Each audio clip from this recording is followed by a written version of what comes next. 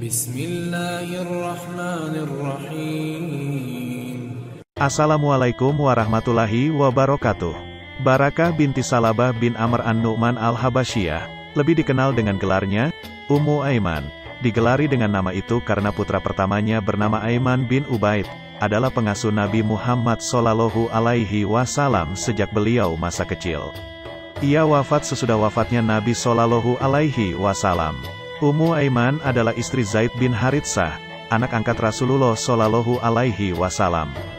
Dari Zaid, ia mendapatkan seorang anak yang menjadi mujahid yang sangat hebat, yang sangat disayangi oleh Rasulullah Shallallahu Alaihi Wasallam, yaitu Usamah bin Zaid.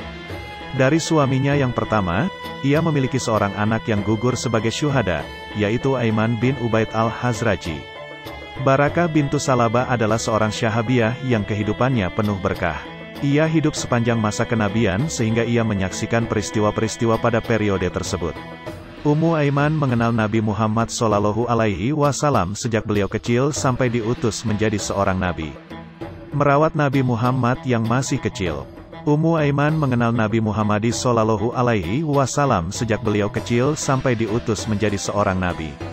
Dia menemani Aminah binti Wahab, ibunda Nabi Muhammad Shallallahu Alaihi Wasallam, berangkat ke Madinah bersama putra kesayangannya untuk mengunjungi Bani Najjar yang merupakan keluarga Abdul Muthalib. Di dalam perjalanan pulang kembali ke Mekah, Aminah menderita sakit di perjalanan. Akhirnya beliau wafat di Apwa, tempat antara Mekah dan Madinah. Karena itulah, Ummu Aiman menjadi satu-satunya pendamping Nabi Muhammad Wasallam yang saat itu masih anak-anak menuju kota Mekah. Sang kakek, Abdul Muthalib menjadi pengasuh Nabi Muhammad Shallallahu Alaihi Wasallam. Ia mencintai sang cucu sepenuh hati. Adapun Ummu Aiman, ia tetap berada di sisi Rasulullah, mengurusnya dengan penuh cinta kasih, menjaganya dengan seluruh kemampuan diri, seakan ia menjadi penganti sang ibu yang telah pergi, sebagaimana Abdul Muthalib hadir sebagai kakek sekaligus bapaknya. Muhammad Shallallahu Alaihi Wasallam kecil pun tumbuh di antara orang-orang yang selalu mencurahkan kehangatan cinta dan kelembutan kasih sayang. Wujud rasa sayang Abdul Muthalib kepada sang cucu membuatnya sangat banyak berwasiat kepada Ummu Aiman. Di salah satu wasiatnya ia berkata, Wahai Barakah, janganlah engkau melalaikan anakku. Aku mendapatkannya bersama anak-anak kecil dekat dengan pohon bidara. Ketahuilah bahwa orang-orang dari Ahlul Kitab menyangka bahwa anakku ini akan menjadi nabi umat ini. Ketika Abdul Muthalib meninggal dunia, Nabi Muhammad Shallallahu Alaihi Wasallam merasakan kesedihan yang sangat. Ummu Aiman menceritakan kejadian itu, ia berkata, Aku melihat Rasulullah Shallallahu Alaihi Wasallam hari itu menangis di belakang tempat tidur Abdul Muthalib. Pernikahan Ummu Aiman. Tak kala Nabi Muhammad Shallallahu Alaihi Wasallam tumbuh dewasa, beliau sangat menghargai dan menghormati Ummu Aiman. Ummu Aiman yang mengurus perkara dan urusan Nabi Muhammad Shallallahu Alaihi Wasallam, serta menjaganya dengan sebaik-baik penjagaan. Setelah Rasulullah Shallallahu Alaihi Wasallam menikah dengan Hadijah, beliau Shallallahu Alaihi Wasallam memerdekakan Ummu Aiman. Kemudian beliau menikahkannya dengan Ubaid bin Zaid al-Hazraji. Dari pernikahan tersebut, lahirlah seorang putra yang diberi nama Aiman. Aiman adalah seorang sahabat yang berhijrah dan berjihad, serta mati syahid pada Perang Hunain. Hadijah Ummul Mukminin memiliki seorang budak bernama Zaid bin Haritsah. Nabi Shallallahu Alaihi Wasallam meminta kepada Hadijah agar Zaid dihadiahkan baginya. Hadijah memenuhi permintaan sang suami tercinta. Zaid menjadi anak angkat Rasulullah dan orang yang sangat dicintainya. Rasulullah Shallallahu Alaihi Wasallam memerdekakannya dan menikahkannya dengan Ummu Aiman, setelah suaminya yang pertama meninggal dunia. Titik. Seorang anak lelaki terlahir dari pernikahan itu. Namanya adalah Usamah. Zaid kemudian bergelar dengan nama Abu Usamah. Ikut dalam dua kali hijrah, Habasyah dan Madinah.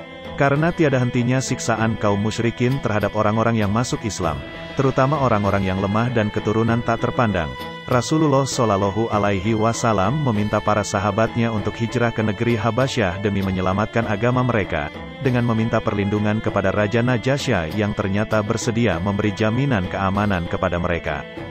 Terutama keamanan sebagian besar kaum muslimin yang mengkhawatirkan diri dan keluarga mereka dari kaum Quraisy. Peristiwa ini terjadi pada tahun kelima dari masa kenabian. Bersama rombongan kaum muslimin yang berjumlah kurang lebih 70 orang itulah Ummu Aiman bergabung untuk menyelamatkan diri dan agamanya dari orang-orang kafir, sampai datang pertolongan dari Allah. Hijrahnya yang kedua adalah ke Madinah Nabawiyah, kota yang menjadi pusat perkembangan Islam dan tanah haram yang kedua, negeri yang dicintai oleh Rasulullah Shallallahu Alaihi Wasallam. Sebagaimana dalam doa beliau, Ya Allah, jadikanlah kami mencintai Madinah seperti cinta kami kepada Mekah, atau lebih. Di sanalah Ummu Aiman menetap hingga akhir hayatnya. Turut berjihad di barisan kaum muslimin. Ketika usia Ummu Aiman semakin bertambah, beliau sangat senang untuk turut serta berjihad bersama Rasulullah Shallallahu Alaihi Wasallam. Pada perang Uhud, Ummu Aiman berangkat bersama para wanita. Peran yang ia utamakan adalah mengobati orang-orang yang terluka dan memperhatikan mereka, serta memberi minum para mujahidin yang kehausan. Pada Perang Haibar, Ummu Aiman bersama 20 orang wanita berangkat menuju medan perang bersama Rasulullah Shallallahu Alaihi Wasallam dan pasukan kaum muslimin. Adapun anaknya, Aiman, tidak ikut dalam perang ini karena kudanya sakit. Meski memiliki alasan, ibunya menyifatinya sebagai pengecut. Pada Perang Mutah, suaminya Zaid bin Haritsah wafat sebagai syuhada. Ummu Aiman menerima berita tersebut dengan sabar dan mengharap pahala dari Allah. Pada Perang Hunain, anaknya Aiman juga wafat sebagai syuhada. Kembali beliau bersabar dan mengharap pahala dari Allah dengan kematian anaknya. Beliau hanya mengharapkan keridaan Allah dan keridaan Rasulnya Shallallahu Alaihi Wasallam. Kesulitan dalam mengucap makraj dengan benar. Ummu Aiman adalah seseorang yang dihormati oleh Nabi Muhammad Sallallahu Alaihi Wasallam. Hal itu tidak menghalangi Nabi Sallallahu Alaihi Wasallam untuk menegurnya saat ia salah. Ummu Aiman terkadang salah dalam mengucapkan kata. Oleh karena itu, Nabi Sallallahu Alaihi Wasallam mengajarkannya atau memerintahkannya untuk banyak diam.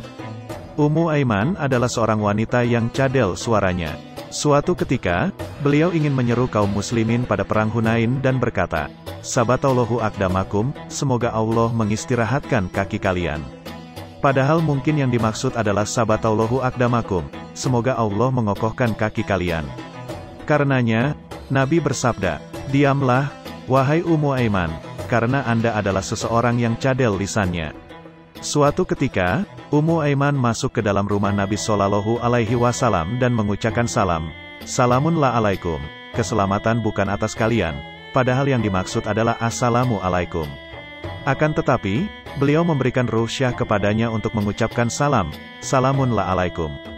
Meriwayatkan hadith dari Ummu Aiman, Nabi Shallallahu Alaihi Wasallam menasihati keluarganya dengan mengatakan, jangan menyekutukan Allah dengan sesuatu apa pun. Walaupun engkau dibunuh atau dibakar, jangan durhakai kedua orang tuamu. Jika engkau diperintah untuk memisahkan antara keluarga dan duniamu, lakukanlah. Jangan meminum hammer, karena hammer itu kunci segala keburukan. Jangan kalian bersengaja meninggalkan salat. Siapa yang melakukan hal itu, maka dia telah melepaskan diri dari perlindungan Rasulnya. Bersama para sahabat, Anas bin Malik mengatakan, orang-orang biasa memberi Nabi kurma, hingga Bani Quraizah dan Bani Nadir ditaklukkan. Keluargaku menyuruhku untuk menemui Nabi, lalu aku bertanya tentang apa yang orang-orang berikan atau sebagian yang mereka berikan. Pemberian itu sebagiannya diberikan Nabi kepada Ummu Aiman. Ummu Aiman pernah datang dan aku gantungkan baju di leherku. Ia berkata, Jangan, demi Allah yang tidak ada sesembahan yang benar kecuali dia.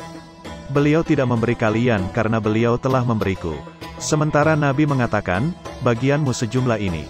Ummu Aiman berkata, tidak demi Allah hingga sepuluh kali lipatnya. Ini menunjukkan kedekatan Nabi Shallallahu Alaihi Wasallam dengan Ummu Aiman. Suatu hari, setelah Rasulullah Shallallahu Alaihi Wasallam wafat, Abu Bakar berkata pada Umar, "Mari kita pergi berkunjung ke tempat Ummu Aiman." Sebagaimana dulu Nabi biasa mengunjunginya. Saat keduanya tiba di sana, terlihat Ummu Aiman sedang menangis. Keduanya berkata, "Apa yang membuatmu menangis? Apa yang ada di sisi Allah lebih baik untuk Rasulnya?" Ummu Aiman berkata, Aku menangis bukan karena tidak mengetahui yang ada di sisi Allah lebih baik untuk Rasulnya. Tapi tangisku itu karena terputusnya wahyu dari langit. Ucapan Ummu Aiman ini pun membuat Abu Bakar dan Umar merasa iba.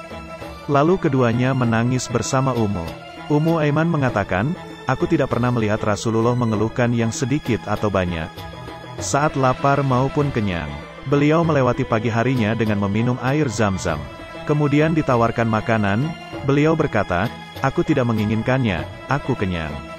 Ummu Aiman berkata di hari terbunuhnya Umar, hari ini, Islam menjadi lemah. Wafatnya Ummu Aiman Ummu Aiman wafat lima bulan atau dalam riwayat lain, enam bulan setelah wafatnya Rasulullah Shallallahu Alaihi Wasallam. Hadis riwayat Muslim, Ummu Aiman menghadap Allah Subhanahu wa Ta'ala, wafat menyusul junjungan dan putra asuhnya, Nabi Muhammad Shallallahu Alaihi Wasallam. Setelah ikut dalam perjuangan membela Islam, menggembleng putra-putranya menjadi mujahid-mujahid sejati, dan tak ketinggalan untuk ikut terjun langsung dalam membantu merawat dan memberi minum para mujahid pada perang Uhud dan Haibar. Akhirnya seorang syahabiyah, yang mengasuh Rasulullah Shallallahu Alaihi Wasallam sejak kecil dan bersama dengan beliau menyaksikan masa nubuah, kembali ke sisi Rabnya. Setelah mencurahkan kebaikan bagi nabinya dan bagi agamanya, Ummu Aiman wafat lima bulan atau dalam riwayat lain, enam bulan setelah wafatnya Rasulullah Shallallahu Alaihi Wasallam. Hadis riwayat Muslim. Terima kasih yang sudah menonton video-video kami. Semoga dapat terhibur dan menambah wawasan kalian. Maka dari itu, bergabunglah bersama kami. Jangan lupa like, komen, subscribe dan nyalakan lonceng notifikasinya. Assalamualaikum warahmatullahi wabarakatuh.